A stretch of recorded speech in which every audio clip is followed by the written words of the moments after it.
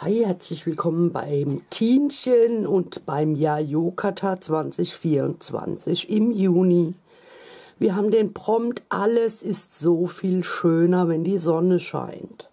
Und ich habe mir hier aus dem Papier von der Gudrun schon mal eine Sonne ausgestanzt mit so einer Wellenstanze. Und ich habe ein weißes Tag dieses Mal. Und ich habe mir das Papier von der Gudrun hier mit diesem Teil, weil da soll noch was mit passieren, ähm, ausgestanzt mit der gleichen Stanze, damit ich das nicht ausschneiden muss, sondern einfach draufkleben kann. Dann habe ich hier zwei Reste aus meinem Restebeutel mit äh, weißem Papier, weißem Kraftpapier. Das habe ich hier einfach mal nur so zusammengeklebt. Und ich möchte heute auf dieses Tag ein Tor machen, beziehungsweise so zwei Flügel, die man auseinanderklappen kann. Jetzt muss ich nur mal gucken wegen der Breite, ja. Weil ich brauche einmal die Breite komplett von dem Tag und dann ungefähr noch so ein Zentimeter auf jeder Seite, denn ich brauche ja Falzlinien, um die festzukleben. Entweder auf dem Tag oder einmal umgeschlagen hinter dem Tag. Und ähm, ich hätte jetzt auch ein ganzes Stück Papier nehmen können und das dann ausstanzen und in der Mitte halbieren. Aber ich hatte eh die Reste, also ich habe hier so einen ganzen Beutel voll von meinen Mini-Alben und so, wo in Creme und in Weiß Reste drin sind und die haben jetzt gerade gepasst. So, das ist jetzt meine Vorrichtung für mein Tor. Da das aber auch wieder schön passen soll, hier mit den Ausstanzungen, habe ich mir gedacht, ich beklebe mir das vorher und stanze es dann. Und um es zu bekleben, habe ich mir diesen Monat diesen wunderschönen Bogen rausgesucht. Der ist sowas von toll. Und ich werde mir das hier so ungefähr da, wo ich, also dieses Teil möchte ich hier nehmen mit diesen wunderschönen Blüten. Das wird dann zwar in der Mitte halbiert, aber das ist ja egal. Wenn man das Tor zuklappt, dann äh, wird es ja wieder eins. Und das werde ich mir jetzt hier mal so grob anzeichnen und ausschneiden und dann werde ich das da drauf kleben und werde es stanzen. So, dazu nehme ich aber meine Maschine. Wie ihr wisst, habe ich es nicht so mit dem gerade Schneiden von Hand. So, der weiße Rand muss auch weg. Und dann werde ich das draufkleben und werde es stanzen. Und wenn ich alles richtig gemacht habe, dann sollte das Tor nachher hier genau passen. So, das kommt jetzt hier drauf. Da ist noch ein bisschen Bleistift. So. Das klebe ich jetzt. Wie klebe ich es? Soll ich es wagen mit dem Stick? Ich traue den Sticks immer nicht so. Ob die auch wirklich halten, richtig. Aber wenn ich jetzt Flüssigkleber nehme und dann gleich ähm, an meine Stanz- und Prägemaschine gehe, gibt es vielleicht noch mehr Sauerei. Deshalb versuche ich es jetzt mal so. Also ich klebe das komplette Stück hier drauf.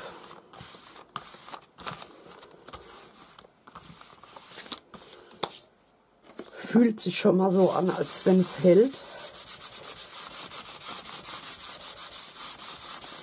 So. Dann lege ich mir das. Ich habe ja hier hinten, wo ich es zusammengeklebt habe, ähm, ich lege mir die Spitze hier auf die Spitze, damit ich genau weiß, wo ich meine, ich zeige euch das Ding mal, das ist hier die Stanze. Und damit ich die genau da auflege, wo ich auch die Mitte brauche, lege ich mir hier die Mitte von dem Tag in die Mitte von meinen beiden Flügeln und zeichne mir das so an, damit ich mein, meine Stanze richtig lege. So, wenn ich das jetzt auf die Maschine packe, dann sehe ich genau, wo die Stanze liegen muss. Und dann sollte das eigentlich auch klappen. Das mache ich jetzt gerade mal. Durch das, dass ich jetzt diese schöne Stanze auf der Rückseite angelegt habe, habe ich natürlich auch das schöne Muster jetzt auf der Rückseite. Aber das ist gar nicht das Problem. Es hat funktioniert. Es geht mir nur darum, dass ich mein Tor hier richtig platzieren kann. Und das kann ich. Jetzt lege ich das hier wieder hin, weil die beiden Teile, die hier überstehen, die muss ich falzen und stanzen und muss das ganze Gerät natürlich auch noch auf die richtige Höhe bringen. Also gefalzt wird dann hier und hier. So, das ist einmal die Länge. Und hier wird jetzt gefalzt. Das ist Kraftpapier, also relativ dick. Muss mal ein paar Mal drüber gehen und das dann auch wieder ein paar Mal hin und her biegen, weil ich habe ja nicht nur das Kraftpapier, ich habe ja auch das Designpapier drüber. Und das mache ich immer gern ein paar Mal hin und her, um das ganze Ding ein bisschen geschmeidiger zu machen. Jetzt hoffe ich, ich kriege nach der Falz, äh, nach der Stanzaktion hier mein Klebeband. Das habe ich vorher auf meinen Arm und überall drauf gepappt, damit es nicht mehr so viel Klebekraft hat. Es nimmt natürlich trotzdem Papier weg, aber ich hoffe, das wird nicht so tragisch sein. So die Seite auch. Und jetzt kommt das Blatt auf mein Tag und das kommt hier oben drüber und wird hier seitlich festgeklebt. Jetzt muss ich das in der Mitte hier natürlich noch durchschneiden. Das habe ich jetzt zusammengeklebt mit dem Papier von der Gudrun. Also hier muss ich es noch teilen. Ich überlege jetzt gerade, weil wenn man das dann aufklappt, dann sieht man hier, wo so ein bisschen die, ich weiß nicht, ob ihr das seht, aber hier ist so ein bisschen von dem, ja, wo das Klebeband war. So, jetzt werde ich das mit der Spitze hier hinlegen, genau. Gucken, wo die Falz, also wo der, wo der Schnitt war. Und das durchschneiden. Jetzt habe ich meine zwei Tore. Und dann so und so und so. Und dann kann man die aufklappen, wenn die festgemacht sind. Und dann überlege ich mir noch einen schönen Verschluss. Und was ich hier innen dekoriere. Äh, und dann kommt natürlich noch unsere Sonne und passend zum Spruch irgendeine Dekoration hier hinter dieses Tor. Also auf jeden Fall, wisst ihr, meine Sonne, soll die Sonne hier irgendwo hin. Die kriegt auch noch Strahlen. Ich mache mal das Falzbrett weg, weil die Kamera mag das nicht. Die hat immer Probleme mit den Linien und dann fängt es an zu flackern. Also ich äh, mache hier auf jeden Fall die Sonne hin. Wenn man dann das aufklappt, dann soll da irgendwie passend zu dem Prompt was sein. Äh, also eine Sonne, die kriegt noch Strahlen und äh, irgendwie eine Szenerie, irgendetwas, was besonders schön ist. Wenn es von der Sonne bestrahlt ist, das überlege ich mir und dann schalte ich euch gleich wieder zu. So, ich habe mir jetzt hier unten noch Schmetterlinge ausgestanzt. Drei verschiedene. Und ich habe mir verliebte Kätzchen ausgestanzt.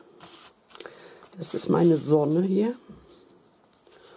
Und ich brauche noch ein paar Herzen und die nehme ich hier aus dem Orange, weil ich kein Rot habe. Jetzt ist es natürlich wieder zu dünn. Also eure Stanze ist nicht kaputt, wenn sie kein dünnes Papier stanzt.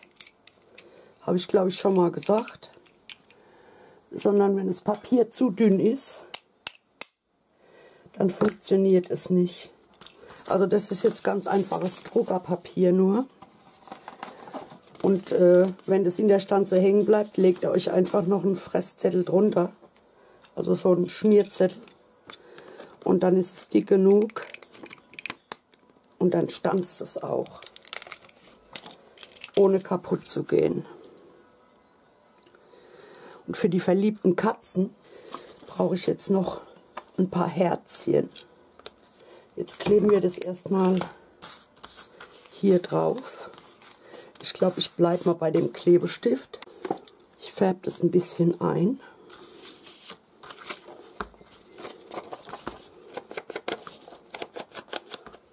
Der Nachteil ist natürlich am Klebestift, dass ihr ähm, nicht so gut rutschen könnt wie mit Flüssigkleber. Ihr müsst also genau gucken, wo ihr klebt. Und da habe ich ja immer ein Problem. So, jetzt lege ich das mal hier oben an.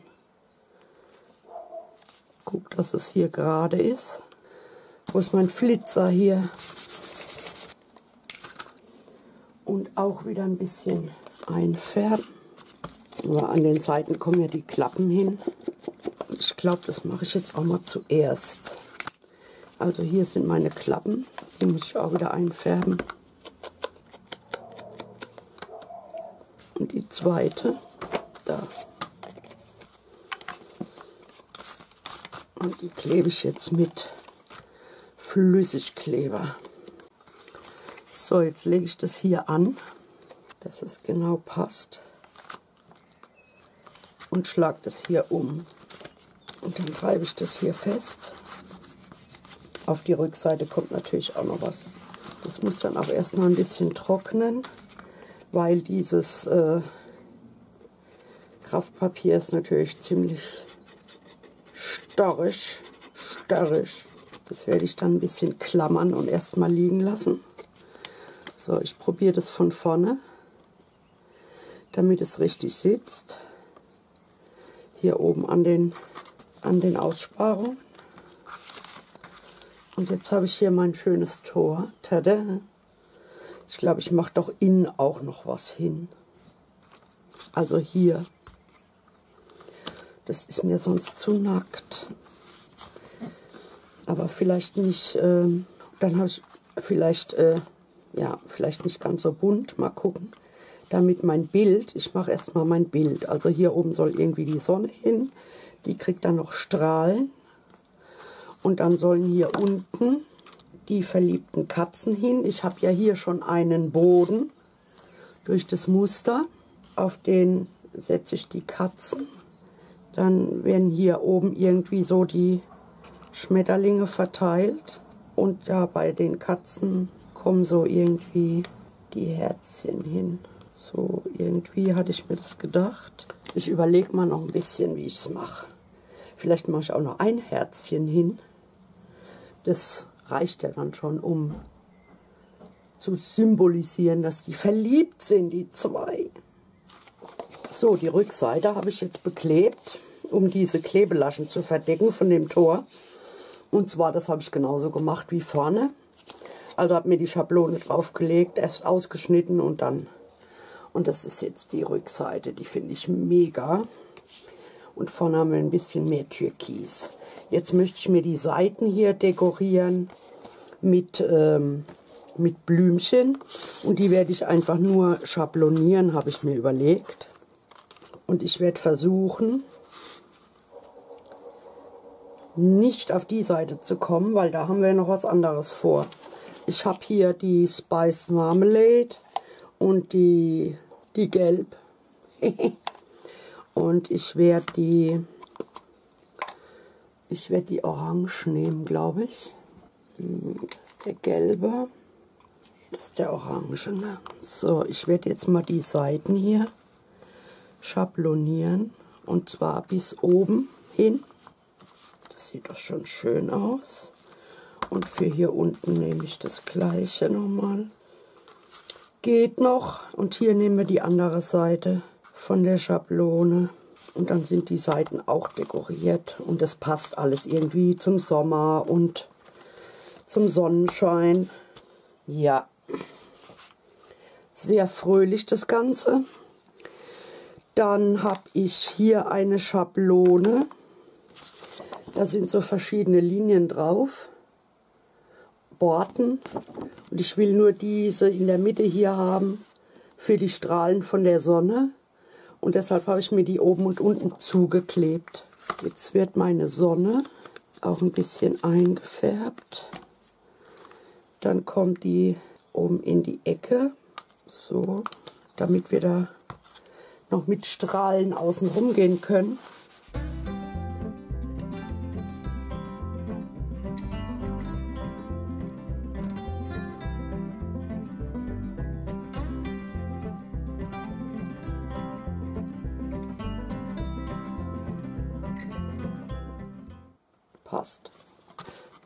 So, dann kommen meine Kätzchen. Das wird jetzt wieder ein bisschen tricky, die aufzukleben hier. Dafür habe ich mir zwar extra die Flasche zugelegt für die feinen Sachen, aber es geht halt doch nicht immer so, wie ich das will. Die kommen hier unten auf den Boden. Dann mache ich ein Herz. Ich hatte eins, das war etwas dunkler, das ist das hier. Das passt gut zu der Sonne, das ist der gleiche Farbton. Ich glaube, dass das die Liebe genug symbolisiert. Und dann die Schmetterlinge noch. Einer fehlt mir. Chaos. Wo ist der dritte? Ich suche ihn und klebe die Schmetterlinge hin. So, ihr Lieben, ich habe den Schmetterling gefunden und habe mein Türchen innen drin dekoriert. Mit den Schmetterlingen, mit der Sonne, mit den verliebten Kätzchen. Hier oben habe ich den Spruch hingemacht. Ein bisschen schief, aber egal. Dann habe ich mir hier einfach zwei Kreise ausgestanzt aus dem Designpapier habe die hier mit Brads befestigt und äh, die äh, kleine Schnur hier, die hält mir das zu und hier unten habe ich meinen Juni draufgeklebt, so ein bisschen als Fähnchen geschnitten. Was wir jetzt noch brauchen, ist eine dekorierte Seite und eine Befestigung für das Tag. Wir sind schon in der Mitte, es ist Juni. Ich habe hier zwei Schnipsel zwei Stücke zusammengeklebt, weil ich die beide sehr schön fand und weil eins jeweils zu klein gewesen wäre für meine Seite. Und deshalb habe ich sie kurzerhand verbunden und ihr seht schon wieder, ja, man sieht, dass das da angestückelt ist. Bei der Gudrun geht es alles ein bisschen schöner ineinander über die Collagen, die sie auf die Papiere gemacht hat, als bei mir hier jetzt. Das ist ein bisschen, äh, ja, man sieht, dass es angestückelt ist, weil es eben hier ganz gerade ist und die Blume hier abgeschnitten und so weiter. Aber das ist mir Wurst. Ich will jetzt hauptsächlich dieses Teil. Also lege ich mir das so an, dass ich hier an der Grenze bin. Und es wird auch wieder nicht lang genug, wie ich das sehe. Das macht aber nichts. Ich habe nämlich diesmal vor, eine Ecktasche zu machen. Die wird halt dann nicht nur in der Ecke sein, sondern ein bisschen weiter rausgehen, damit ich hier unten das Stück, was mir fehlt, bedecken kann. Also wenn ich gleichzeitig ausschneiden und reden muss, dann habe ich ein Problem. Merkt ihr schon. So, das schneide ich jetzt hier schön aus. Und dann würde ich das hier drauf kleben. Und dann habe ich wieder unten frei. Und normalerweise müsste ich dann jetzt hier schon wieder eine, eine Tasche unten machen. Das will ich aber nicht, weil das habe ich ja dauernd. Ich habe mir eigentlich vorgenommen, so vier, fünf Sorten Taschen. Also äh, einmal seitlich, einmal Bellyband, einmal unten, einmal dreieckig und äh, ich werde es jetzt hier einfach, wird hier einfach so ein großes Dreieck hinmachen, das mir hier unten den Boden komplett verdeckt. Dafür muss ich das jetzt aber erstmal noch ein bisschen einfärben und draufkleben und dann brauche ich auch wieder einen Rest für mein Tischchen. Und wenn ich den nur aus dem Druckerpapier mache, dann wird es wieder ein bisschen dünn. Also werde ich mir das aus Kraftpapier machen. Da habe ich auch noch Reste. Das ist ein bisschen stabiler. Also ich klebe das jetzt drauf. Da brauche ich euch nicht mitzunehmen. Wie das geht, das wisst ihr. Und ich habe hier noch von dem Kraftpapier. Und das würde ich mir jetzt hier so schneiden, dass das über die komplette Seite geht. Also bis hier hin. Die Ecke hier muss ich runden. Das mache ich mit dem Stanzer. Und dann muss ich das hier schneiden und hier schneiden. Und dann habe ich eine große Ecke und da passt dann hoffentlich mein Tag rein.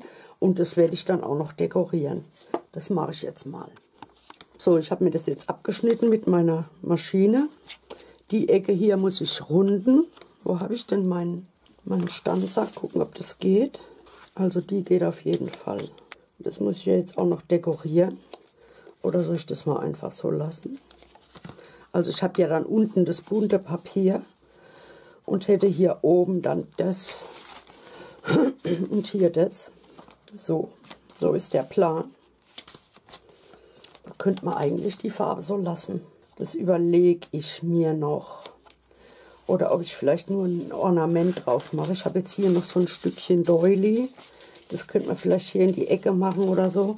Also ich mache das jetzt mal weiter. Ihr wisst ja jetzt, wie ich vorgehe. Ich klebe das jetzt auf, dann klebe ich das auf. Und dann gucke ich, ob ich das noch ein bisschen dekoriere. So, ihr Lieben, ich bin fertig. Weil wir gerade in der Mitte waren, habe ich hier unten an meine Bänder, die ich benutzt habe, um das Journal zusammenzunähen, gleich noch Schmetterlinge hingeklebt. Die baumeln dann hier unten raus. Und dazu habe ich einfach vier gleiche ausgeschnitten, habe auf zwei davon Kleber gemacht, das Band hingelegt und dann den anderen einfach oben drauf gedrückt. Und jetzt sind die Bänder hier auch dekoriert, weil wir ja in der Mitte waren. Also das ist jetzt meine Journal-Seite mit diesem dreieckigen Täschchen aus Kraftpapier. Hier habe ich noch so einen Rest hingeklebt und so ein Blümchen, wie ich hier in der Mitte habe für meine Sonne. So eins. Ausgeschnitten und draufgeklebt und das ist mein Tag mit den Klappen zum, also mit den beiden Torhälften zum Ausklappen und äh, mit dem Spruch. Und äh, die beiden Katzen fühlen sich sichtlich wohl in der Sonne, die Schmetterlinge auch. Und das macht mir hier einfach so zu. Und das war mein Juni. Und das passt hier auch rein. Ich habe es mit diesem ganz dünnen Power Tape also das ist sowas wie Sticky Tape, nennt sich aber Power Tape, weil beim Sticky ist die Folie rot und bei dem ist sie blau. Ist aber auch ziemlich gut, also das ist das ganz, das dünnste, was es gibt, ist 2 mm, glaube ich. Und äh, da habe ich die Ränder mit dem, mit dem Tape beklebt und nicht mit Flüssigkleber und ich hoffe, das wird halten. Das war mein Beitrag für Yayokata 2024 im Juni. Ich hoffe, es hat euch wieder gefallen und ihr seid auch beim nächsten Mal wieder dabei. Und bis dahin wünsche ich euch was. Macht's gut, ihr Lieben, bleibt gesund, genießt die Sonne, wenn sie bei euch scheint. Tschüssi.